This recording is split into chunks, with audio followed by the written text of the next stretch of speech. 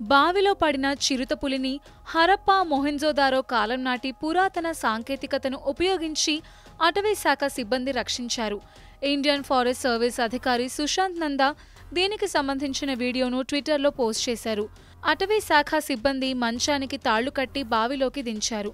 చిరుత ఆ మంచంపైకి చేరగానే తాళ్ళ సహాయంతో పైకి లాగారు. దీంతో మంచంపై ఉన్న చిరుత బావి గట్టుపైకి దూకి అక్కడి నుండి స్పీడ్గా వెళ్ళిపోయింది. జంతువుల ఆవాసాల చుట్టూ ఉన్న బహిరంగ బావులను మూసివేసినప్పుడే ఇలాంటివి ఆగుతాయని సుశాంత్ నందా ట్వీట్లో వ్యాఖ్యానించారు. ప్రస్తుతం ఈ వీడియో సోషల్ మీడియాలో వైరల్ అయింది. ఇప్పటికే సుమారు యాభై వేల మందికి పైగా దీనిని చూశారు. ఓపెన్ బావులపై జల్లెడ వంటి మూతలు అమర్చితే జంతువులతో పాటు మనుషులకు కూడా ఇలాంటి ప్రమాదాలు తప్పుతాయని కొందరు నెటిజన్లు సూచించారు దీనిని మిషన్ మోడ్లో చేపట్టాలన్నారు అటవీ శాఖ దీనికి చొరవ చూపాలని పర్యావరణ మంత్రిత్వ శాఖతో కలిసి ఓపెన్ బావులకు పై మూతలు అమర్చడంపై దృష్టి సారించాలని కోరారు